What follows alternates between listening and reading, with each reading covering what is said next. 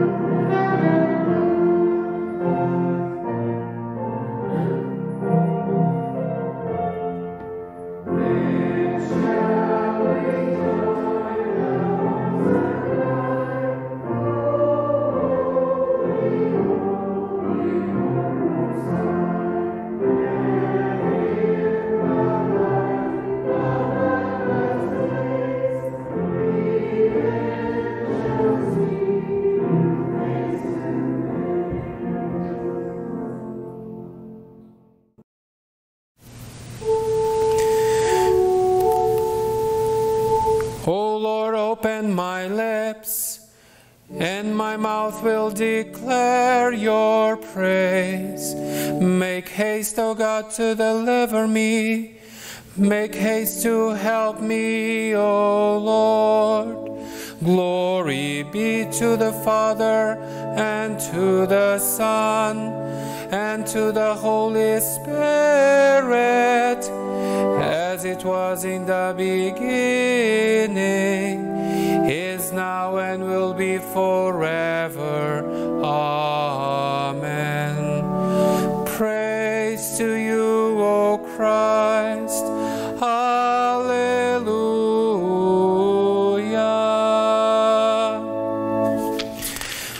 Blessed be God the Father, the Son, and the Holy Spirit. Oh, come, let us worship Him. Oh, come, let us sing to the Lord. Let us make a joyful noise to the rock of our salvation. Let us come into His presence with thanksgiving. Let us make a joyful noise to him with songs of praise. For the Lord is a great God and a great King above all gods. The deep places of the earth are in his hands. The strength of the hills is his also. The sea is his, for he made it, and his hand formed a dry land. Oh, come, let us worship and bow down. Let us kneel before the Lord our Maker.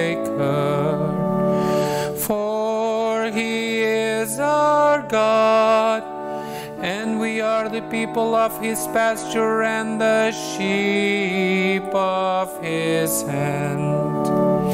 Glory be to the Father and to the Son and to the Holy Spirit, as it was in the beginning,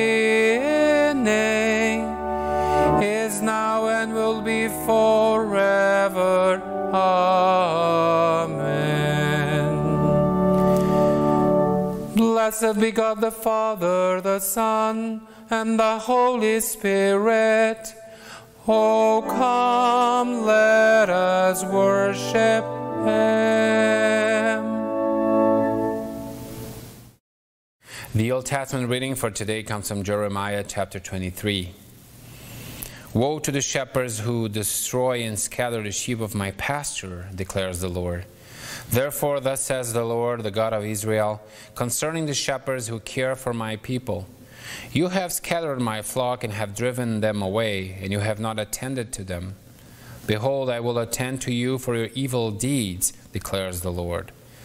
Then I will gather the remnant of my flock out of all the countries where I have driven them and I will bring them back to their fold, and they shall be fruitful and multiply. I will set shepherds over them who will care for them, and they shall fear no more, nor be dismayed, neither shall any be missing, declares the Lord. Behold, the days are coming, declares the Lord, when I will raise up for David a righteous branch, and he shall reign as king and deal wisely, and shall execute justice and righteousness in the land.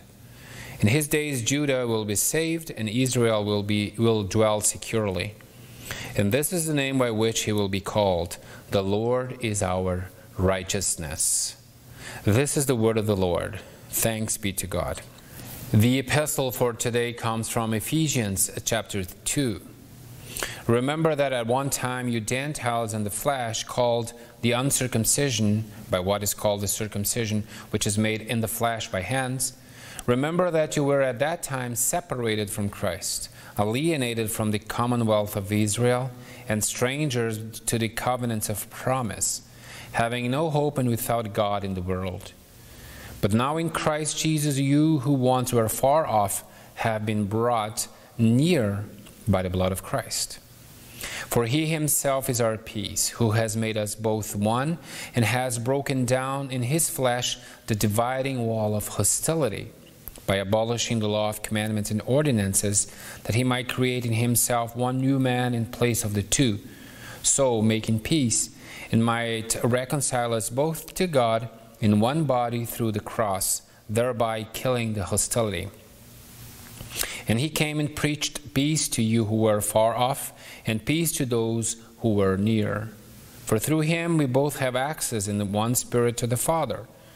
So then you are no longer strangers and aliens, but you are fellow citizens with the saints and members of the household of God. Built on the foundation of the apostles and prophets, Christ Jesus himself being the cornerstone, in whom the whole structure being joined together grows into a holy temple in the Lord. In him you also are being built together into a dwelling place for God by the Spirit. This is the word of the Lord. Thanks be to God. The gospel for today comes from St. Mark, the sixth chapter. The apostles returned to Jesus and told him all that he had done and taught. And he said to them, Come away by yourselves to a desolate place and rest a while. For many were coming and going, and they had no leisure even to eat. And they went away in the boat to a desolate place by themselves. Now many saw them going and recognized them, and they ran there on foot from all the towns and got there ahead of them. When he went ashore, he saw a great crowd, and he had compassion on them, because they were like sheep without a shepherd. And he began to teach them many things. And when it grew late, his disciples came to him and said, This is a desolate place, and the hour is now late. Send them away to go into the surrounding countryside and villages and buy themselves something to eat. But he answered them, You give them something to eat. And they said to him, Shall we go and buy 200 denarii worth of bread and give it to them to eat? And he said to them, How many loaves do you have? Go and see. And when they had found out, they said, Five and two fish. Then he commanded them all to sit down in groups on the green grass. So they sat down in groups by hundreds and by fifties. And taking the five loaves and the two fish, he looked up to heaven and said a blessing, and broke the loaves and gave them to the disciples to set before the people. And he divided the two fish among them all. And they all ate and were satisfied. And they took up twelve baskets full of broken pieces and of the fish. And those who ate the loaves were five thousand men. This is the gospel of the Lord. Thanks to you, O Christ.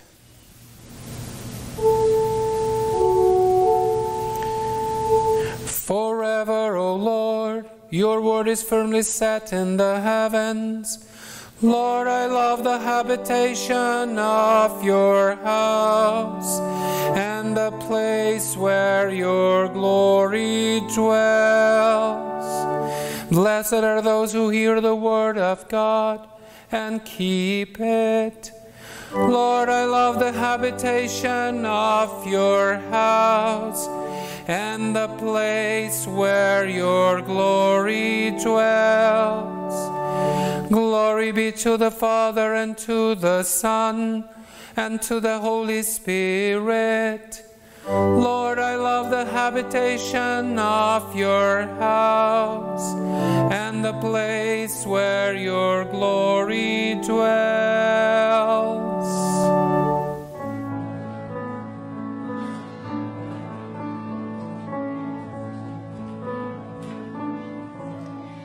Jesus, my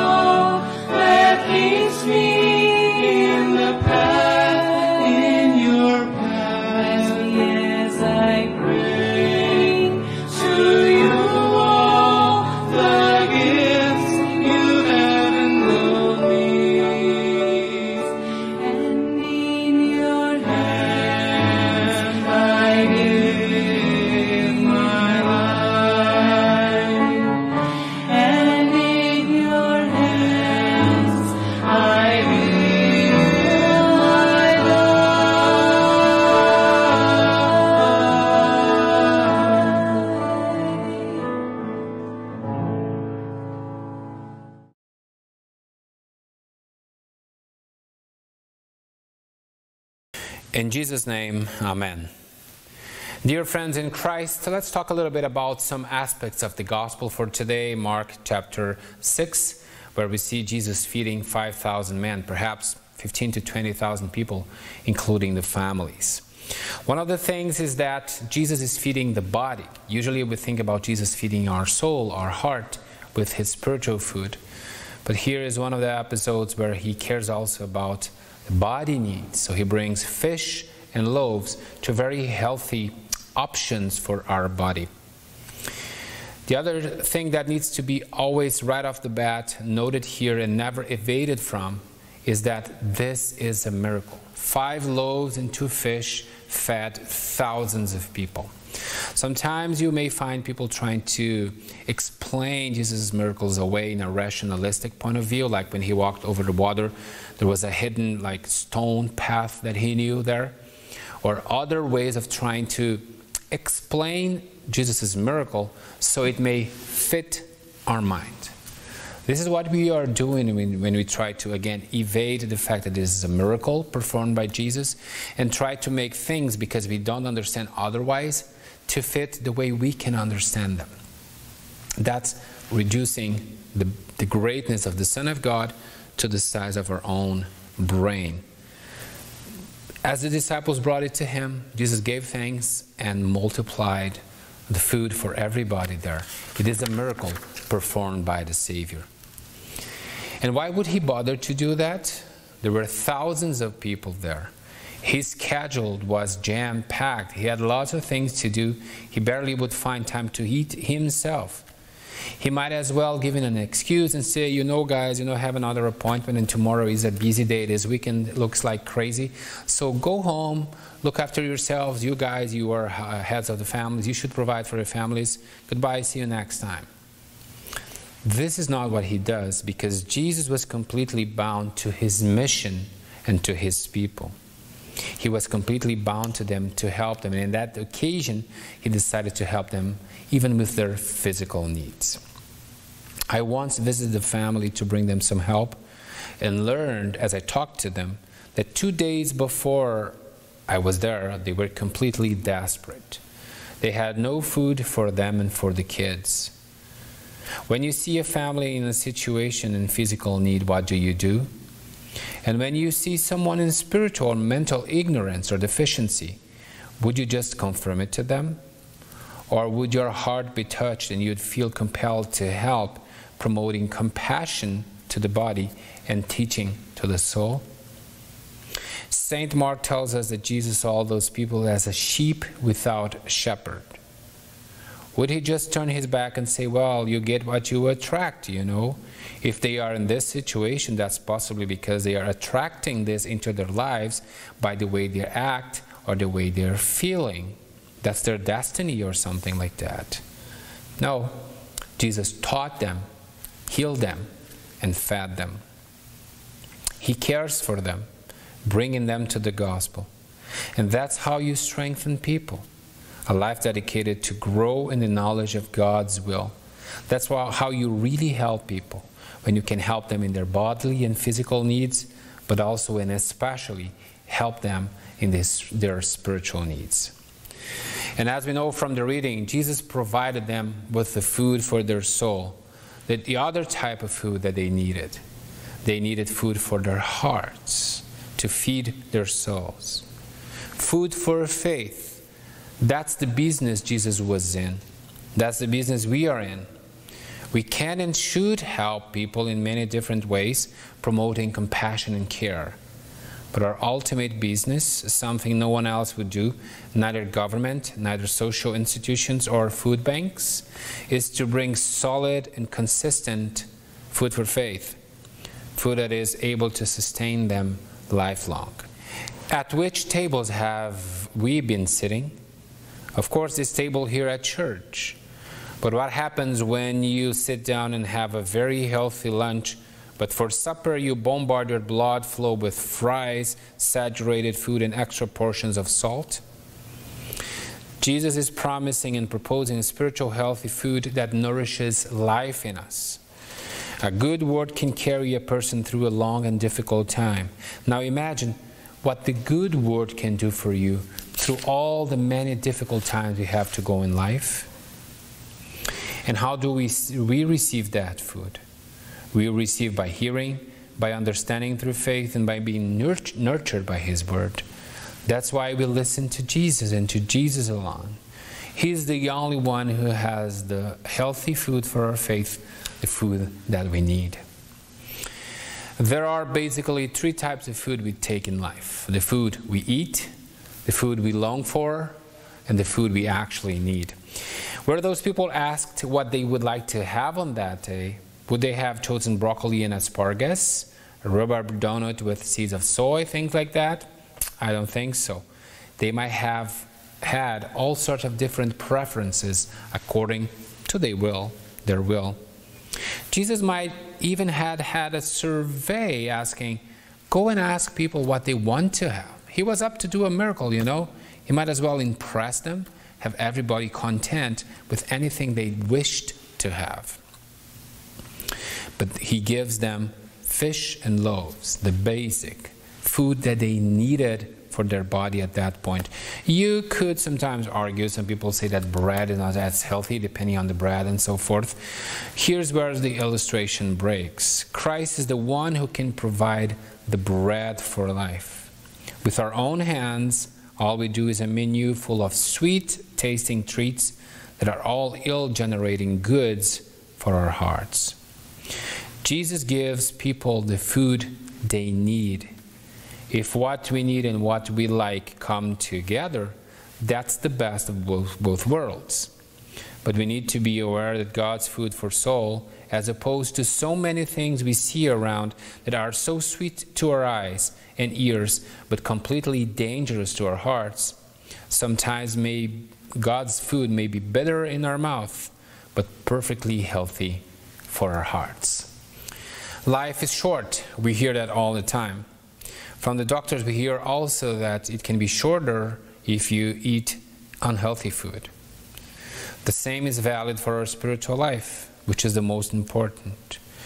If ingredients from the creation can nurture us so well, like fish and loaves, talk about the words of the Creator Himself. He brings us in His means of grace what we need for our soul, bringing us bringing to us the whole life we need and generating care and compassion in us for others. He brings to us the food we need. Amen.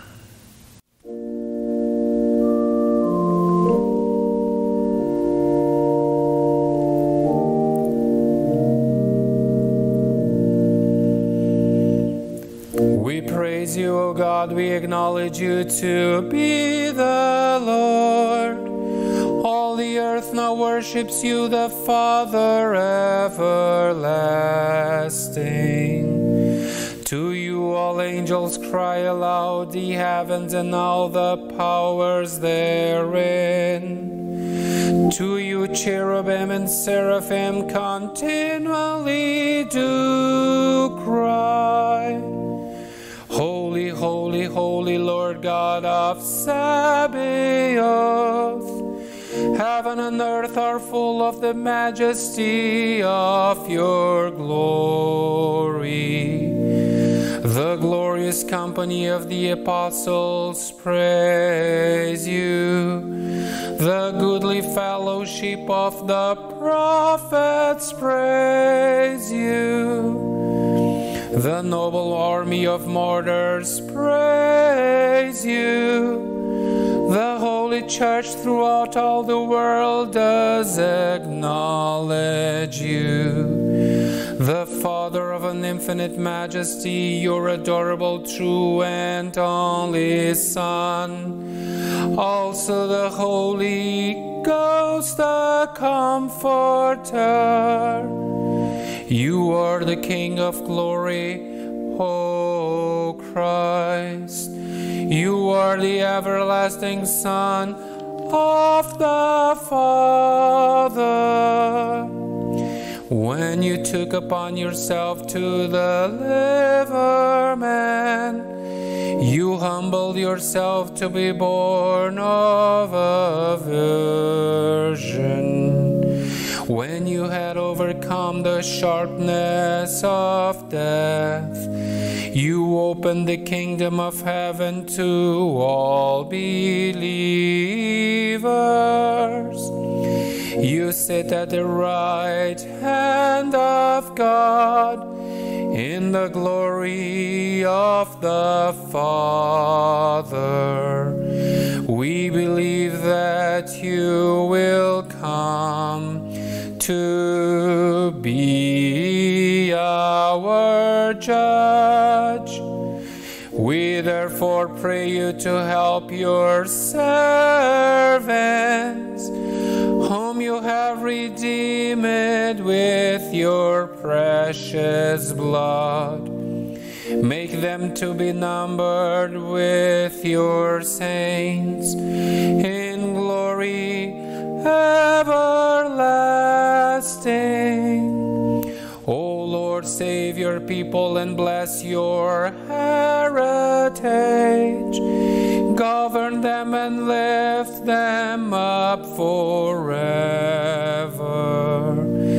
Day by day we magnify you and we worship your name forever to keep us this day without sin. O Lord, have mercy upon us, have mercy upon us. O Lord, let your mercy be upon us as our trust is in you. O Lord, in you have I trusted, let me never be confounded.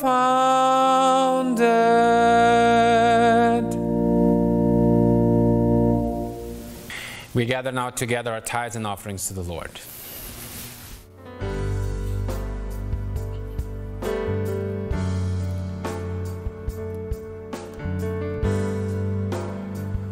Heavenly Father, we thank you for these gifts and our return to you. We pray that by them more people would come to know Christ Jesus and have their faith and hope and trust in Him. In His name we pray. Amen.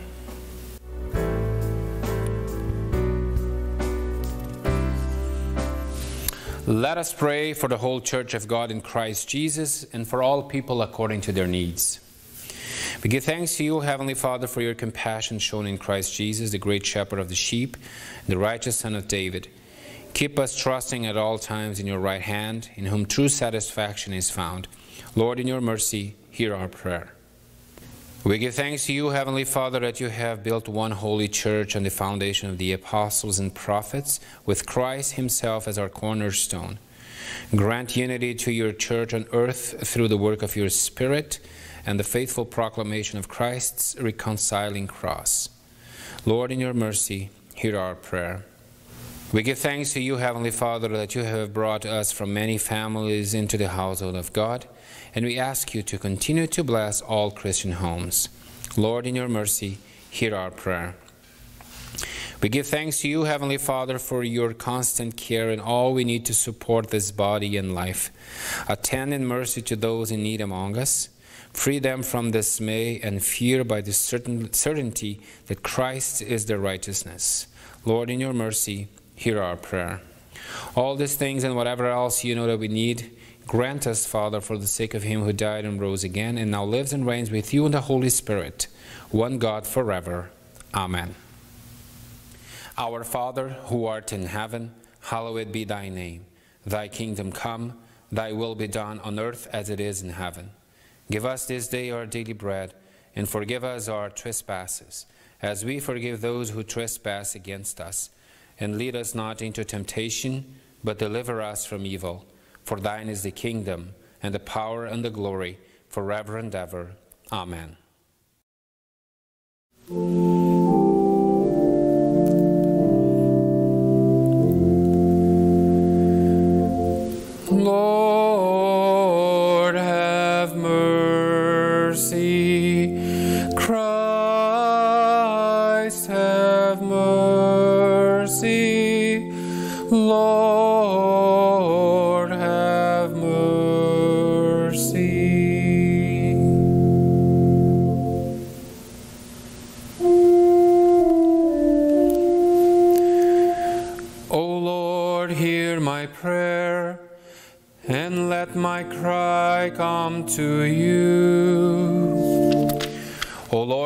Heavenly Father, Almighty and everlasting God, you have safely brought us to the beginning of this day. Defend us in the same with your mighty power, and grant that this day we fall into no sin, neither run into any kind of danger. But that all our doings, being ordered by your governance, may be righteous in your sight. Through Jesus Christ, your Son, our Lord, who lives and reigns with you in the Holy Spirit, one God, now and forever. Amen.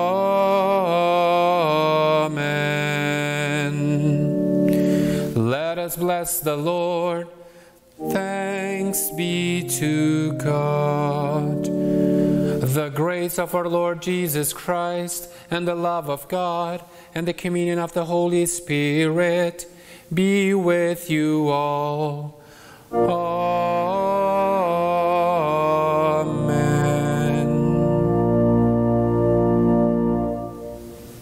Welcome back to Mount Olive. It's good to have you with us here in Regina, Saskatchewan, uh, in Canada, or even from different countries in the world. Your company is always very much welcome. July the 18th marks the Sunday today where our congregation is reopening to many of the activities we had before the pandemic uh, time here for Sunday services and other things that will come up in the fall. So if you want to know exactly in detail what is uh, open, reopening right now, what are the things that we are doing right now, and the ones that will be held for a later date, perhaps for the fall, you can go online to our website, mountolive.ca on our Facebook page as well. We will keep posting the updates on what is going on in the congregation as we are all happy to go slowly back to our normal life in our family, in our households, but especially here too at the church. God's blessings to you, and I'll see you next time.